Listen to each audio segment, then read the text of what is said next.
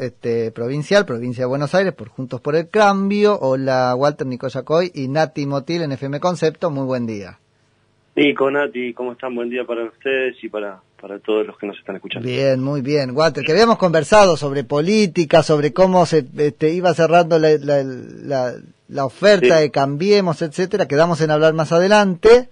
El largo plazo llegó, no, al mediano plazo, ponele. Eh, sí, y todavía falta. Pero no sé si llegaron con la lista, claro, en provincia, contame. Eh, sí, bueno, la última vez que hablamos había una, había grandes chances, estaba bastante encaminado. El hecho, esto que se está dando en la ciudad de Buenos Aires con López Murphy se podía dar en la provincia con José Luis Esper, ustedes recordarán. Sí, sí, sí. sí. Eh, pero bueno, para, parece que eso se enfrió bastante, por no decir del todo. Yo no le bajo eh, la persiana hasta que no se cierren las listas. Esto puede cambiar de un momento a otro. Ahora nomás, mañana, el 14 de julio, se van a definir las reglas de las internas. ¿Qué tienen que ver con esto que hablaban ustedes? Sí, sí, sí. ¿no? De, a ver cómo es. claro, el tema es así. En una interna, para explicar a la gente, ¿qué es una paso? En una paso vos elegís algún candidato en el espacio político que más te represente, o que vos elijas votar. Tenés que obligatoriamente ir a votar y elegir por un candidato. En el caso de la provincia de Buenos Aires, en Juntos por el Cambio, para ponerlo como ejemplo, hoy tenemos dos candidatos, Santilli y Manes, hoy. Entonces la gente va a ir a votar por Santilli y por Manes. No va a votar solo por ellos dos, sino por todos los diputados que están debajo en esta lista que nosotros tenemos. Cada cual presenta su lista completa, en principio. Exactamente. El PRO presenta su lista de candidatos completa, el radicalismo presenta su lista de candidatos completa, tiene que ser un hombre y una mujer, claro, por el tema de la paridad, eso es obligatorio. Exactamente. Bien. en el caso de Junto por el Cambio, primero Santilli, después irá una mujer, después irá un hombre, después irá otra mujer, y así, y lo mismo en la UCR. Quien saque más votos va a encabezar la lista. Ahora, Walter, hay un tema ahí que es un gap interesante, que deja la ley a decisión de cada este, frente o alianza, que es eh, bueno, el piso a partir del cual empiezan a intercalar este, en la lista ganadora candidatas de la perdedora. A eso iba. El que gana encabeza la lista y el que pierde la integra. ¿Cómo la integra? De acuerdo a las reglas que fije el espacio, no está fijado por ley. El espacio mismo, cuando se siente el radicalismo, la UCR, la coalición cívica, escribir el acuerdo, van a decir, el piso es de tanto, 15%, 10%, 25%. ¿Qué es el piso? Es la cantidad de votos mínimos que vos necesitas para integrar la lista. Claro, la que te permite entrar en el reparto, digamos. Exactamente, son 100 votos si el piso es del 15%, vos sacando 15 votos ya podés integrar la lista que va a ir a la, a la, elección general. Bien. Si sacás 14, te quedás afuera de Te quedás afuera de todo. De eso se ah. trata. Si el piso es del 15%, si es del 25 será el 25 y si ah. es del 10 será el 10. Ahora, qué desafío en términos de acuerdo, ¿no? Porque uno puede decir, bueno, me envalentono, en algún momento se habló del 35, no sé qué, una locura. Ahora, ¿cómo contenés al votante perdedor? Al candidato me importa nada. Ahora, al votante perdedor, tenés que ser un piso razonablemente bajo. Y bueno, ahí está la lucha de, intereses, ¿no?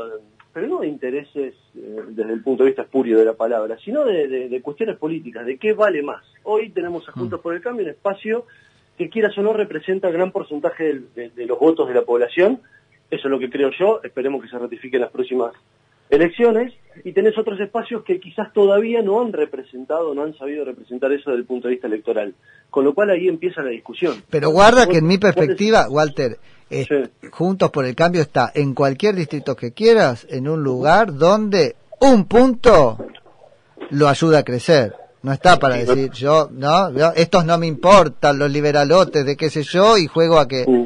Me parece que ya vimos que dos puntos lo ayudan un montón yo coincido coincido 100% con vos.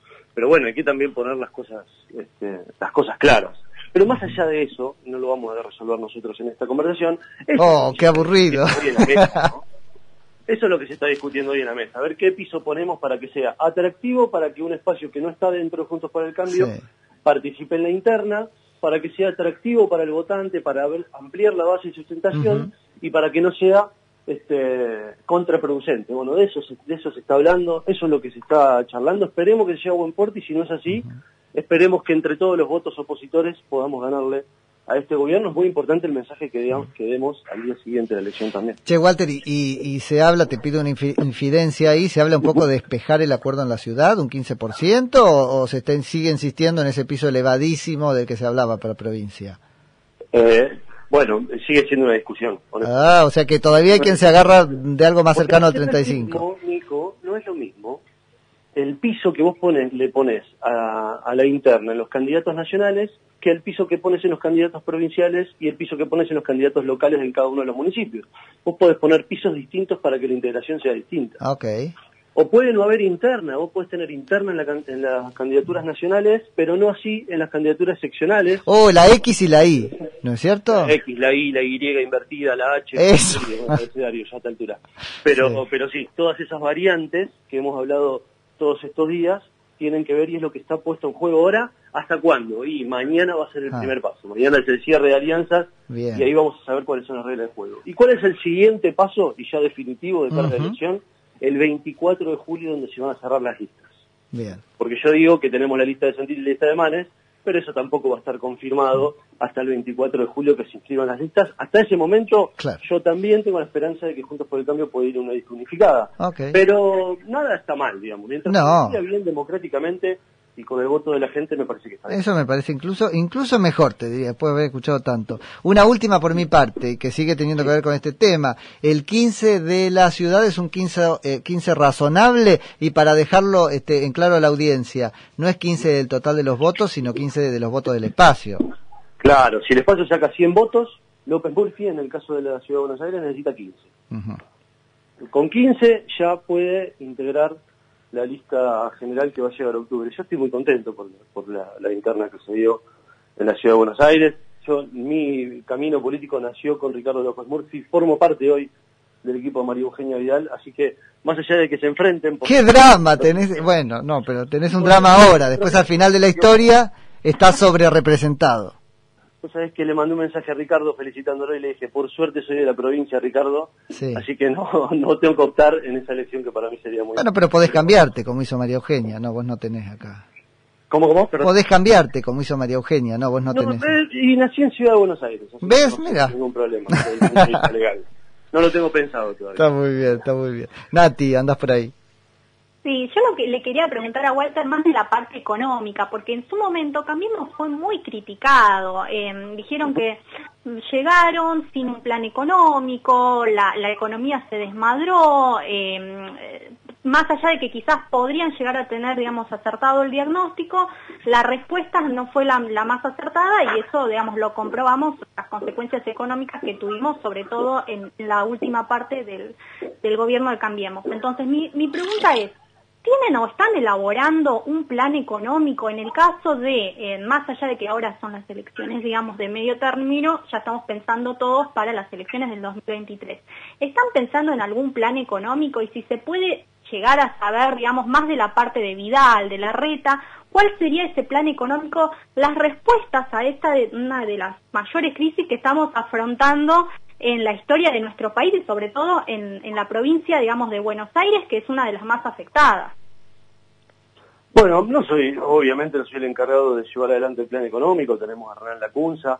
Hay una chance importante de que se sume también Martín Tetaz a la lista de la Ciudad de Buenos Aires, lo hemos escuchado en estos días, que esté López Murphy eh, dentro de la interna de Juntos por el Cambio también forma parte de un de un realineamiento de las ideas económicas que nosotros queremos llevar adelante. Está claro, no tengo el plan en la mano, pero está claro que acá lo que tenemos que hacer es fomentar el trabajo y dejar de hacer eh, crecer el gasto público.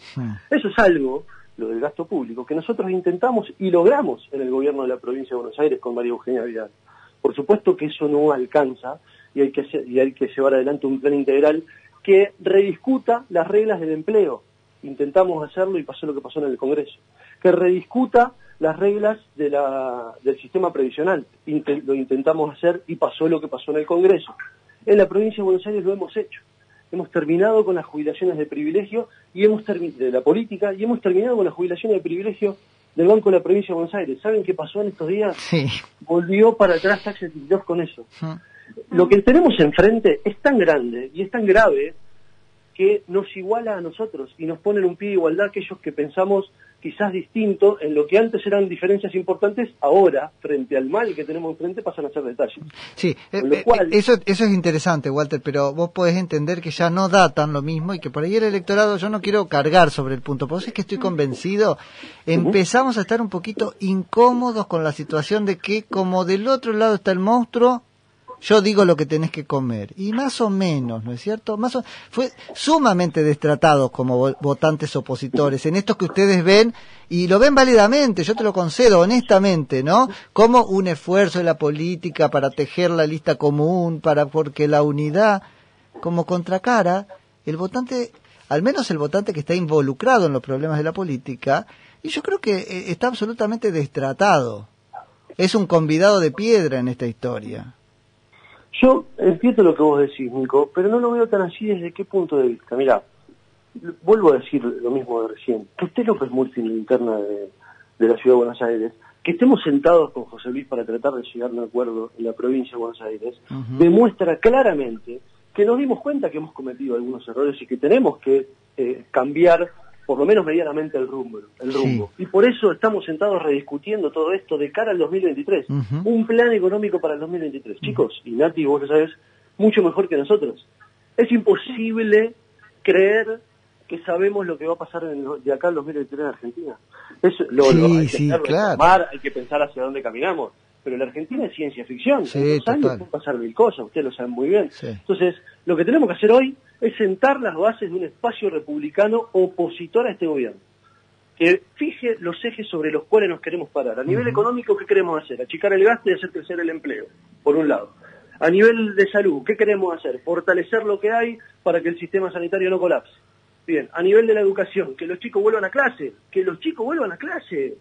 Ese es, ese es el principal punto de un plan educativo. ¿Usted eh, se entiende de dónde partimos? Sí, no sé, ¿en serio quieren achicar el gasto? ¿Es un compromiso real? Lo hemos achicado en la provincia de Buenos Aires. Ha hmm. sucedido. Hemos achicado el gasto de la legislatura, hemos achicado los cargos políticos, hemos achicado este, el estado de la provincia en, los, en, las áreas donde lo teníamos que achicar y lo hemos fortalecido en las áreas donde teníamos que fortalecer. De eso se trató nuestro gobierno. Asumimos con déficit y nos fuimos con una con las cuentas equilibradas y estoy hablando de la provincia de Buenos Aires. Ahora el desequilibrio no es una en un nivel ah. y nos fuimos con ingresos brutos se eh, pagando menos. Ahora Walter, el, el, el, desequilibrio en el gasto público y con todo el prurito de llamarlo así cuando se trata de asistencia social, ¿no tiene que ver en el fondo con una asistencia que cae en saco roto? No tengo ninguna duda, sí, coincidimos. Bueno, esa es mi pregunta. ¿Ahí hay vocación de sanear? Yo creo que nosotros no pudimos implementar un plan que era extraordinario, que era el plan Empalme, que se trataba de convertir los, los, empleos, los planes sociales en empleos. No hemos logrado implementarlo, pero me parece que es por ahí, ¿eh? De esa forma lo tenemos que hacer. Ver de qué manera podemos achicar la burocracia este, para, para encauzar ese programa y que todos los planes puedan convertirse en un empleo genuino que termine beneficiando también a los sectores privados que invierten esa es la única, la única manera. Si nosotros seguimos haciendo crecer el empleo, como pasó en estos últimos años, claro. el empleo público. Sí, sí, sí, sí, Y, dejamos que 90.000 locales cierren en la provincia de Buenos Aires. 90.000.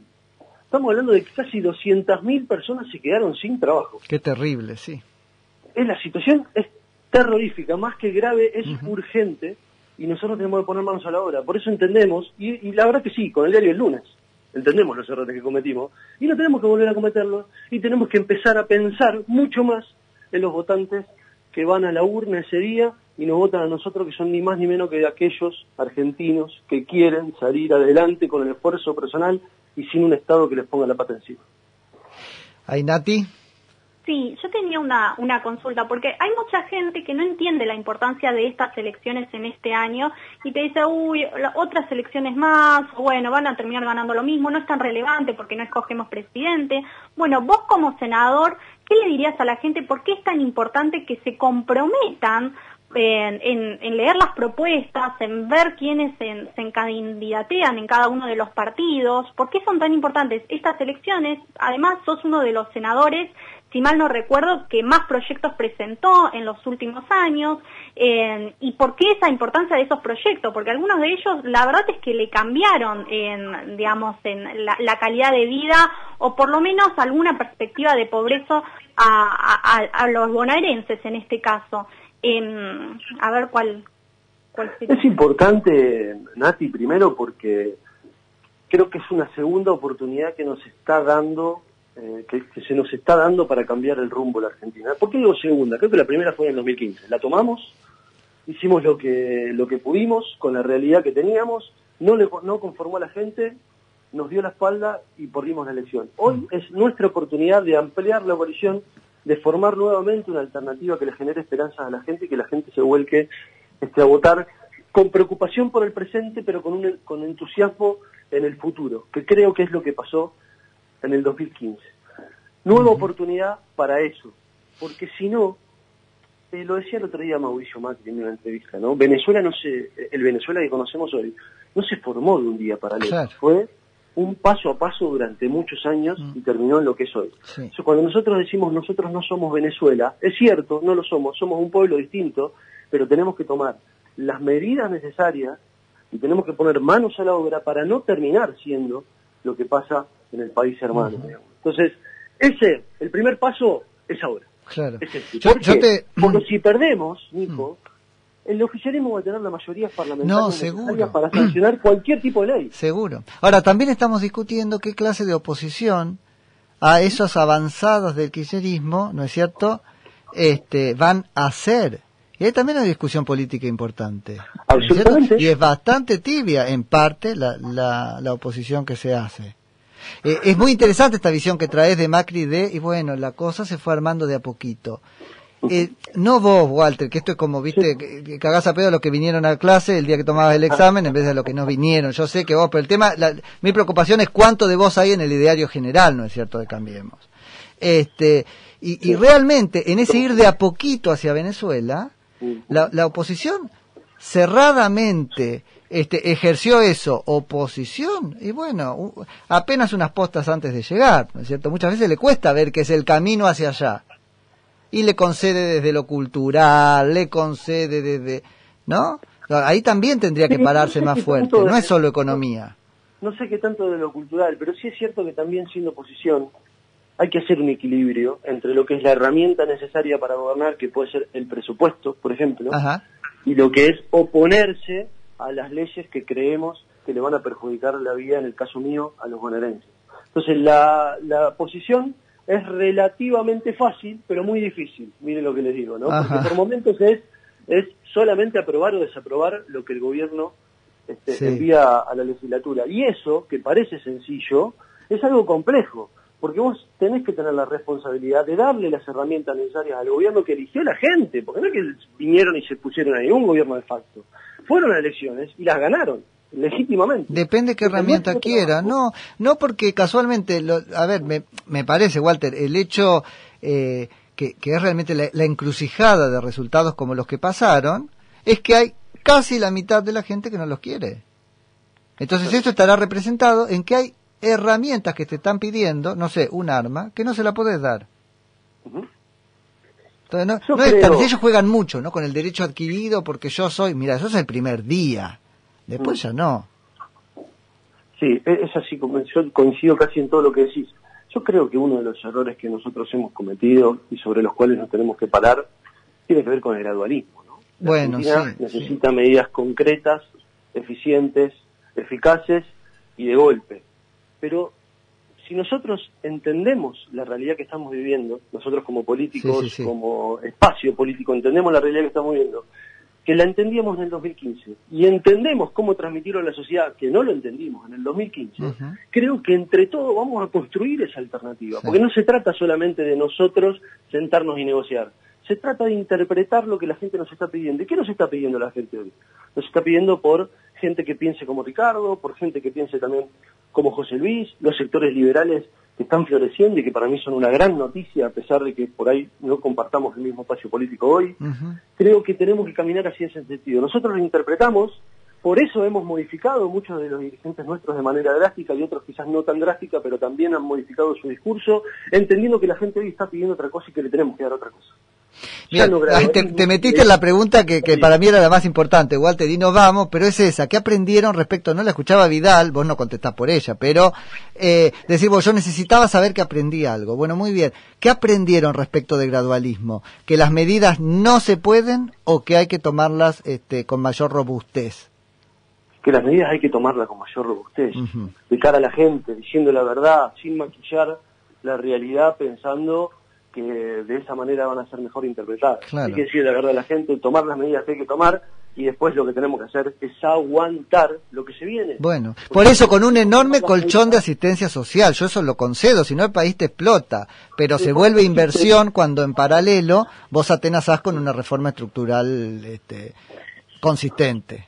Por eso el camino es reconvertir esa asistencia social en el laburo el laburo genuino, el laburo genuino que con el tiempo será de calidad, pero tenemos que hacerlo, en algún momento tenemos que empezar.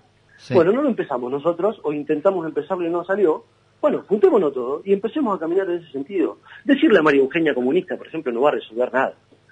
Entonces, yo creo que lo que tenemos que hacer es dejar de agredirnos entre nosotros y entender lo que está enfrente. Más allá de que es cierto que nosotros tuvimos nuestra oportunidad y que quizás no todos quedaron conformes. Pero hoy por hoy, la realidad indica que hay un montón de gente dispuesta a acompañarnos a nosotros. Y eso también tiene que ser valorado. No puede ser que todo lo que quieren acompañar y votar a Juntos por el Cambio, que acompañan a Mauricio y acompañan a María están equivocados. No es así, ¿eh? No, no, sin duda.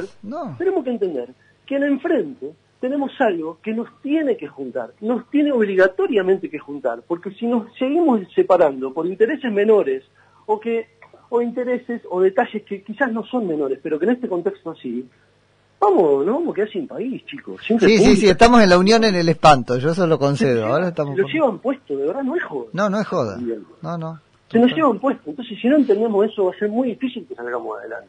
Yo insisto, estoy muy esperanzado con esta generación de jóvenes que se ha volcado sobre todas las redes sociales, pero que poco a poco están en las calles, que defienden las ideas de la libertad uno de ellos es Natalia. Así es. honestamente estoy muy esperanzado con eso. Si hay un poquito de esperanza que tengo todavía de poder salir adelante, tiene que ver con esta nueva juventud que esperemos que nos termine de acompañar en las próximas elecciones, no a nosotros, ¿eh? digo, que, que se vuelquen este, masivamente a las urnas, que vayan, que voten y que pensemos juntos un país de cara al 2023. Eso es lo que me desvela y eso es para lo que trabajo todos los días. Walter, muchísimas gracias y bueno, antes de la elección después volvemos a charlar, nos contás ya con precisión. Te mando un abrazo. Chau Nico, chau Nati, chau para todos. Un beso. Chau, chau. Nati Motil, estuvo bueno.